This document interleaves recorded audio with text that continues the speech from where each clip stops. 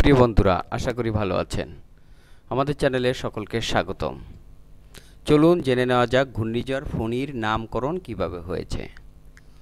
ঘূর্ণিঝড় ফণি নামটি দিয়েছে বাংলাদেশ। এটি খুব গর্বের বিষয়। এর অর্থ সাপ বা ফনা তুলতে পারে এমন প্রাণী। ইংরেজিতে এফ এ এন আই লেখা হলেও এর উচ্চারণ ফণি। বিশ্ব আবহাওয়া সংস্থার আঞ্চলিক কমিটি এক একটি ঝড়ের নামকরণ করে। যেমন ভারত মহাসাগরের ঝড়গুলোর নামকরণ করে এই সংস্থার আটটি দেশ, দেশগুলোর নাম চলুন দেখে নিই বাংলাদেশ, ভারত, পাকিস্তান, মায়ানমার, মালদ্বীপ, শ্রীলঙ্কা, থাইল্যান্ড এবং ওমান, যাদের প্যানেলকে বলা হয় WMO ES CAP WMO ESCAP একসময় ঝড়গুলোকে নানা নম্বর দিয়ে শনাক্ত করা যেত, কিন্তু সেসব নম্বর সাধারণ মানুষের কাছে দুর্বোধ্য হতো। ফলে সেগুলোর পূর্বাভাস দেওয়া, মানুষ বা নৌযানগুলোকে সতর্ক করাও কঠিন মনে হতো।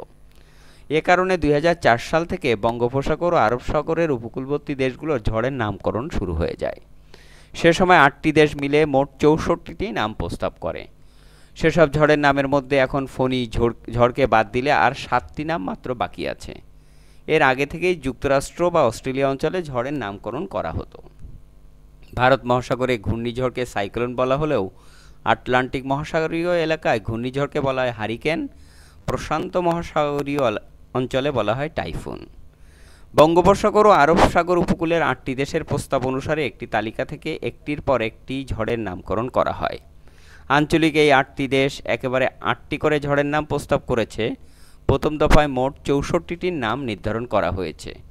যেমন, ফণি নামটি বাংলাদেশের দেওয়া। এরপরের ঝড়ের নাম হবে ভারতের প্রস্তাব অনুযায়ী ভায়ু। তারপরে আরও ছটি ঝড়ের জন্য এখনও নাম তালিকায় রয়েছে। সেগুলো হচ্ছে হচ্ছে হিক্কা, কায়ার, মাহা, বুলবুল, পাওয়ান ও আমফান। এই নামগুলো শেষ হয়ে যাওয়ার পর তারা আবার বৈঠকে বসে নতুন নামকরণ করবে। ফণির মাধ্যমে শেষ শেষ সাইকেল শুরু হলো। এরপরে আরও ষাটটি ঝড়ের পর বাংলাদেশ আবার চারটি ঝড়ের জন্য নাম দেবে। এর আগে বাংলাদেশের পক্ষ থেকে প্রস্তাব করা নামগুলো ছিল হেলেন, চাপালা ও অক্ষী। তবে বেশিরভাগ ঝড়ের নামের ক্ষেত্রে মেয়েদের নামের প্রাধান্য দেখা যায়। ধন্যবাদ সকলকে আমাদের সাথে থাকার জন্য।